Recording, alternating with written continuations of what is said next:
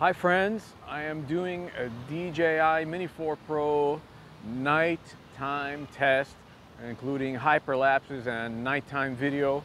I'm using the night video mode. For the hyperlapses, I've shot them in RAW format, so they should turn out pretty good. I uh, did adjust the ISO from the factory settings. I lowered it because uh, it seemed that it was getting a lot of, you know, overexposure on the lights of the city when it's really, you know, bright lights on the hotels and buildings here. So uh, what you're going to see is a result of all those adjustments, not that many actually. And I must say, I am totally, totally astonished by the quality and beauty of these night shots. It was unbelievable. so uh, yeah, let's check it out.